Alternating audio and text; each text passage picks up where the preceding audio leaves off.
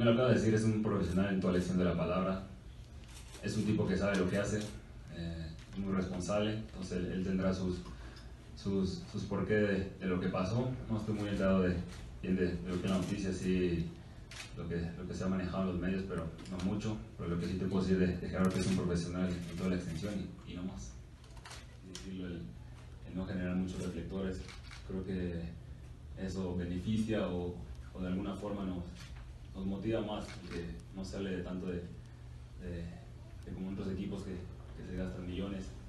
Acá nosotros somos, somos humildes y trabajadores. Eh, luchamos por, nuestra causa y por nuestro equipo. Al final, eh, el que estemos en Pumas es, es un orgullo, es un honor estar acá.